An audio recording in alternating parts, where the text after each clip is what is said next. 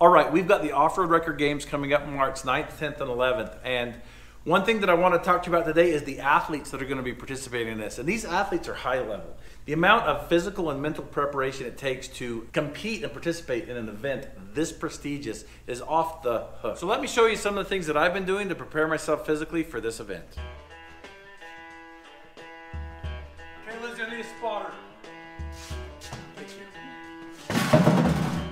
All right, that's one of the ways that I prepare. Let's go check on Merlin and see what he's doing. Off-road wrecker games.